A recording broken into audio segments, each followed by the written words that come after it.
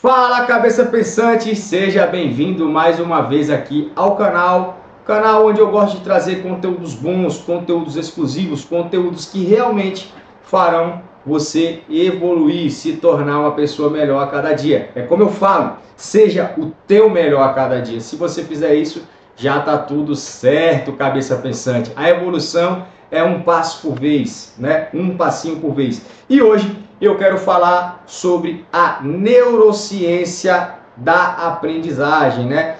Quem me acompanha sabe que eu sempre estou trazendo algo relacionado à neurociência, à nossa capacidade cognitiva, à nossa capacidade mental, analisar quem somos nós na hora de fazer qualquer tipo de realização de meta, né?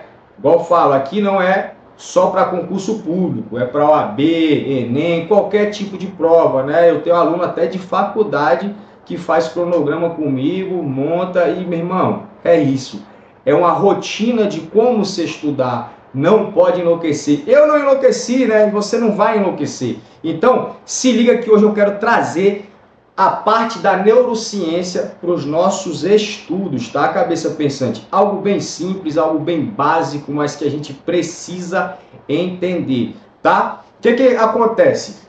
Vamos descobrir como que funciona dentro da nossa cabeça, né? O nosso cérebro é como se fosse uma máquina, né? Ele processa muitas informações. Desde a hora que você abre o olho, você está processando diferentes tipos de informações, porque são captadas através dos seus sentidos, né? Todo tipo de sentido que você tem, você está captando informações. E essas informações elas buscam conexões neurais, né? Para criar estímulos para a gente entender. Por isso que você lembra de um cheiro, você lembra da sua infância, você fala, hum, que cheiro de bolo que lembrou do bolo de minha avó, aquele cheiro da comida que lembra a comida de quando você comeu em tal local. São associações onde sua gavetinha lá no seu cérebro é aberta, mas como que eu abro essa gavetinha? E é isso que eu quero que vocês entendam. Quando a gente relaciona né, a neurociência com o nosso estudo, com nossa rotina, com o nosso cronograma, com o nosso dia a dia, tudo facilita, tá? E eu quero falar para vocês sobre alguns neurotransmissores primeiro,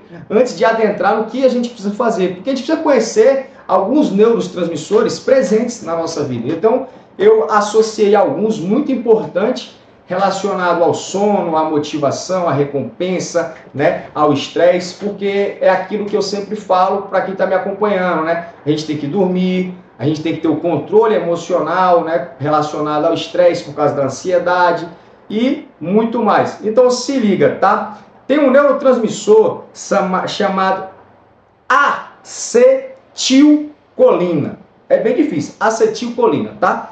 Ele é encontrado em diversas partes do sistema nervoso. Desempenha um importante papel nas transmissões de sinais dos neurônios. Sabe a sinapse, sabe? As sinapses das funções motoras, sinapses cognitivas de memória. Sinapses são as junções ali de um neurotransmissor falando com o outro. E às vezes quando a gente perde esse caminho da sinapse, é quando a gente fala, o que, que eu ia fazer mesmo? Entende? Então a gente precisa estar realmente unido nisso aí. E no sistema central, ele desempenha uma função cognitiva que inclui o aprendizado, porque tem essas conexões, né? Tem essas conexões que eu acabei de mencionar, e isso vai me ajudar o quê? Na atenção, na memória, porque se eu estou fazendo o processamento dessas informações e estou fazendo a ligação, o meu cérebro está realmente fixando. Então, está envolvido, tá? Está envolvido todo, todo, todo um processo que chama memória de curto prazo. Então, esse processo ele é muito importante porque ele está no nosso hipocampo, essa memória de curto prazo que depois eu quero fixar ela, que jogar ela para o, o meu o meu córtex central, onde realmente vai ficar fixada. Por, por que, que você não esqueceu de como se anda de bicicleta? Né? Algo nesse sentido, assim. Por que, que você lembrou daquele cheiro, daquela comida, como eu falei antes? Então, ele é, é essa, esse neurotransmissor, ele é responsável dessa memória de curto prazo e também de longo prazo. Só que para eu transformar em longo prazo, eu preciso associar mais coisas aí para que realmente a retenção fique mais, é, se torne mais plástica, né, mais sináptica, que é a capacidade do meu cérebro de modificar as forças das conexões entre os neurônios e as respostas à minha atividade neural. Beleza? Uma que eu falo também para vocês direto, falei no vídeo passado, sempre estou falando sobre esse poder da dopamina na nossa vida, né? Esse poder muito importante desse neurotransmissor. A dopamina, você tem que saber lidar com ela, controlar ela. Ela é muito importante. Tem pessoas que fazem jejum aí, faz jejum dopaminético, jejum de dopamina. Então, você tem noção de como que é importante? E é isso que eu quero trazer para você. A dopamina associada às funções, tá? Do movimento de humor, de regulação, de motivação, de recompensa, desempenha um papel crucial, né? Motivação e resposta à recompensa. Qual é a minha motivação? O meu futuro, né? Trabalho, a minha nota 10, a minha OAB, essa é a minha motivação, é o que eu quero, né? É o que eu quero, tá? Ah, mas ela é recompensa. Eu não vejo disso. A minha recompensa eu vejo como recompensa diária, tá? Tem pessoas que pensam diferente. Eu, eu não penso assim. Eu penso que a minha motivação é lá. A minha recompensa é a recompensa diária do que eu fiz hoje. A minha recompensa, eu vejo o seguinte: quando eu estou começando a estudar e atingir alto desempenho, a minha recompensa é o meu nível subir. Para mim não é minha motivação. Isso já é minha recompensa. Minha motivação maior está lá, ó. Tá no final meu nome no diário oficial. Não deixa de ser sua recompensa, ok. Mas o que você quer buscar tá lá. Então eu analiso como a minha maior motivação é o que eu quero no final, é o final da minha, do meu objetivo, final de atingir minhas metas, aquele meu objetivo final. Então eu penso dessa forma, tá? É a minha forma de pensar, o meu cérebro, são, é, são os controles que eu tenho entendendo a minha atividade cerebral. Os neurotransmissores são os mesmos, tá? Eles fazem e desempenham atividades neurais. Eu só estou trazendo funções de cada um e como a gente consegue lidar. Lógico que a tua individualidade é diferente da minha e os seus motivos de pensar, de querer, são diferentes dos meus. O que eu não quero que você tenha é um nível baixo de dopamina. Que quando a gente está com nível baixo de dopamina, a gente tem a sensação de quê? De que a gente não consegue. Aí vai faltar o quê? Faltar motivação diária, tá? Falta motivação diária para você buscar, porque você acha que você não consegue. Então é aquele negócio, poxa, eu estudo, estudo e não saio do lugar, só fico batendo na trave, não estou melhorando meus desempenhos. Então, tudo isso tem uma explicação, me acompanha que você vai saber lidar com isso tudo.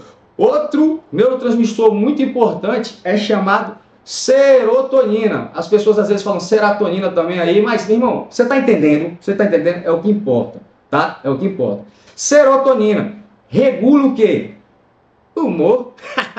Ele tem a capacidade de regulação do humor. Aí o cara fala, sim, mas se a minha dopamina estiver baixa, eu estou sem motivação, estou tendo recompensa e meu humor está afetado. Está vendo que tudo se afeta? Então por isso que a gente tem que controlar. Porque eu tenho que ter o quê?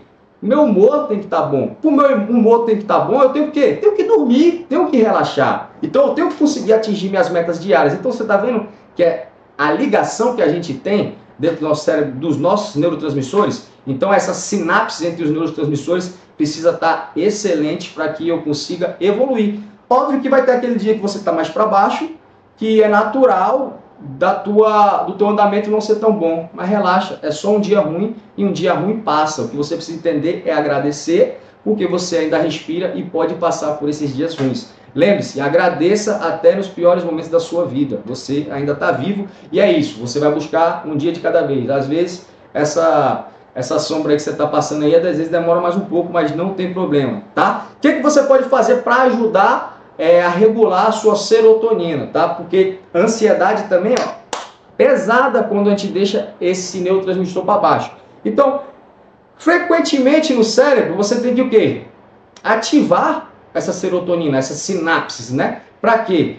Para que o seu sono fica bom, o seu humor fica bom e tudo vai fluir. Por isso que eu falo que o concurseiro, quem estuda, enfim, tem que dormir, tem que descansar, tem que relaxar, tem que fazer essa troca do sono ali, né, aquele sono REM, tem que sonhar, né, que é aquele momento que a gente transforma a nossa memória de curto prazo, memória de longo prazo, a retenção, enfim, isso é papo para um outro caminho, se ligue, que eu quero terminar de falar sobre serotonina aqui, tá? Exercício físico, por que, que as pessoas gostam tanto de sensação de exercício físico ao ar livre? Porque você alimenta bem esse neurotransmissor. Porque você tem exposição à luz solar e a luz solar ela regula a quantidade também de serotonina em nosso corpo. Então isso é muito bom. Por isso que quando você malha, quando você treina, quando você faz uma atividade ao ar livre, em contato com a natureza, tudo flui melhor para você. Beleza? Então, cabeça pensante, eu vou chegar na última aqui que eu gosto de falar, que é a noradrenalina, tá? A noradrenalina também é chamado de, que alguns falam assim, luta ou fuga, é quando a gente trava, sabe quando a gente trava a nossa cabeça? É geralmente associado à noradrenalina. Ela tem um papel fundamental no nosso estresse, tá? No nosso estresse. E eu quero que você entenda que você não pode ficar sem estresse na sua vida. É necessário você ter um estresse, porque se você tiver com baixo nível de estresse, até seu estudo vai reduzir porque você vai ficar com sono. Muito doido isso, né? Tipo, você está estressado. Não estressado com pico elevado aí, não. Não nessa forma. Mas entender o que está acontecendo, aquele estresse necessário, né? Não é quer dizer que o estresse ele só é ruim, não. Você tem que ter um estresse necessário para que você trabalhe a tua atividade neural, né? É normal isso, você precisa porque isso dá atenção, isso desperta a noradrenalina, certo? E também ela ajuda na resposta de quê? Sono, do humor. Quando você controla seus neurotransmissores, tudo é excelente. Eu falei como último aqui, mas não foi o último não. Eu gostaria de falar também sobre a endorfina. O que, que acontece com a endorfina? Sabe quando você tem aquela sensação que quando você para de malhar, para de treinar, você fica para baixo? Você fica para baixo mesmo, tá? Porque a endorfina, ela desempenha um papel, né, que vai incluir dor e promoção de bem-estar, né? Por isso que às vezes a gente sente a dor lá no Por isso que às vezes a gente sente a dor ali quando a gente está malhando e tudo, mas a gente quer mais porque a gente está vendo desenvolvimento. Aí às vezes você volta para academia, fica dolorido, normal, mas você quer voltar, quer voltar, quer voltar porque você está tendo a recompensa, né? Olha ali a dopamina, né? Olha a noradrenalina, olha a endorfina. Entende que é tudo, tudo junto e é isso que eu preciso que você capte para evoluir nos estudos, tá? O que acontece com a endorfina? Por isso que a gente tem que treinar. Por isso que a gente tem que treinar, independente do concurso que você vai fazer. Por isso que tem que botar a mente para ficar ativo. Você tem uma redução do estresse, tá? Com essa liberação de endorfina, por isso que as pessoas gostam de treinar, gostam de malhar e se faltar isso na rotina dela, ela fica o quê? A pessoa fica louca, quer malhar, fica estressado porque não treinou normal, tá? E acaba criando o vício. O vício de quê? O vício da liberação daquela endorfina. Quando ela não é liberada, o cérebro sente. Melhora também no quê? No teu humor, porque controla a tua atividade é, neural, o teu controle de estresse. E aumenta a tua motivação. E é o que a gente precisa para quê? Para estudar para concurso público, para qualquer prova. Então, se liga aí. O que você precisa, então, aprendendo esses neurotransmissores que eu trouxe aqui para ti? O que, que é preciso? É preciso você ativar o cérebro de forma eficiente, tá? Você tem que começar com a revisão rápida daquilo que você já estudou, por isso que tem cronograma de estudo, você aprende na minha consultoria ou na minha mentoria, fique à vontade.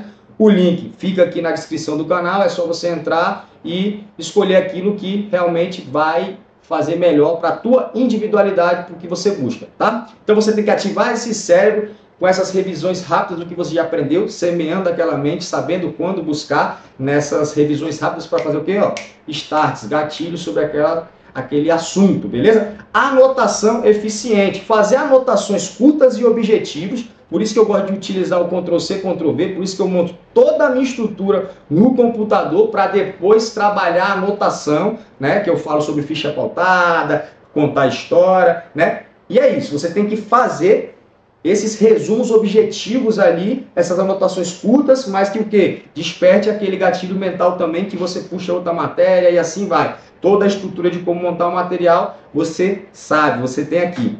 Um espaço de estudo, né? Um espaço de estudo onde tu vai entender como você vai estudar, a forma de estudar, aquele seu espaço organizado é excelente. Então você tem que ter um espaço para o seu estudo, para sua mente chegar e falar: ah, entendi, aqui é o local de estudo. Assim como alguns é, de home office e tudo mais colocam uma roupa apropriada para trabalhar, nem está trabalhando, mas ele coloca porque ele vai trabalhar em casa. Então ele se sente melhor quando ele coloca a roupa do trabalho, porque ele se sente realmente trabalhando e ele não fica à vontade, está em casa, em home office trabalhando, mas à vontade. Então tem muitas pessoas que funcionam assim, você tem que entender o funcionamento do teu cérebro. A tua individualidade é a coisa mais importante que existe. Olhe para ela, não se compare, tá? Não se compare. Testar seus conhecimentos. Você precisa testar seus conhecimentos como? Simulados, exercícios. Os simulados direcionados com aqueles exercícios que eu fiz naquela primeira, segunda, não importa. Eu preciso entender como que está meu desempenho, não só nessa semana que eu fiz exercício dessa matéria, mas sim como que está o meu geral sobre essa matéria ou sobre essas matérias. Então, faça realmente divisões de simulados que isso testa seu conhecimento. E outra, se liga, cabeça pensante, eu falo muito sobre o que? Controle emocional na hora da prova, né? Eu falo muito sobre isso. Por quê? Porque se eu vou treinar o meu simulado lá de A, B, C, D, E, eu vou treinar para responder uma questão e ir para a segunda. Então, quando eu estiver diante de um simulado fazendo isso, eu vou responder. Eu vi lá A, B, C, vi que a C está certa, nem vou ler mais. Vou para a segunda, vi que a A está certa, nem vou ler mais, já vou diante. Eu não leio tudo, eu não vou cansar minha mente. Então, tudo que eu treino, tudo que eu treino é o que eu vou fazer na hora da prova. Eu não vou fazer diferente. Se eu fizer diferente, eu posso fazer o quê? Ir por água abaixo. Por isso que o quê? Eu treino. Isso é um treino, é alto desempenho, alto desenvolvimento. Você é um atleta da tua aprovação, um atleta do teu objetivo, um atleta da tua meta. Então, você também precisa de quê? ensinar para o teu cérebro o que você aprendeu. Por isso que eu falo do contar história, da revisão para mim mesmo. Eu gosto de terminar o assunto e contar para mim mesmo. Então, por que, que eu boto no papel? Porque eu vou montar a estrutura do que eu lembro, né? E vou contar a minha história sobre aquilo que eu acabei de ler, porque eu quero reforçar a ideia no meu cérebro antes de fazer exercícios. Depois eu trabalho os exercícios. Primeiro eu conto para mim como, como são essas histórias do que eu acabei de ler. Se você quer aprender isso e muito mais, tem aí o link aqui abaixo, beleza? Se liga, cabeça pensante, trouxe informações baseadas realmente na neurociência e de como funciona o nosso cérebro, nosso, os nossos neurotransmissores. Só que você tem que entender como que é a sua vida, como que é a sua rotina e a sua individualidade é a coisa mais importante nesse momento. É olhar para si e lembrar do que eu sempre falo e que eu acabei de falar no início desse vídeo. Seja o seu melhor a cada dia. Valeu, cabeça pensante? Não esqueça de compartilhar, tá? Dá um joinha, deixa algum recado aí quando quiser falar comigo, pode falar que eu sempre estou respondendo aqui. Ou então, através do canal aí do WhatsApp. Você pode estar tá mandando, olha, cabeça pensante, me coloca no grupo aí de informações. Eu vou te colocar no grupo de informações, onde estou colocando várias informações sobre muita coisa, né? É um grupo que não se fala muito, mas o que tem lá é de suma importância. Fique à vontade para mandar mensagem, para trocar uma ideia, tirar alguma dúvida e compartilha esse vídeo aí, cabeça pensante. Tamo junto.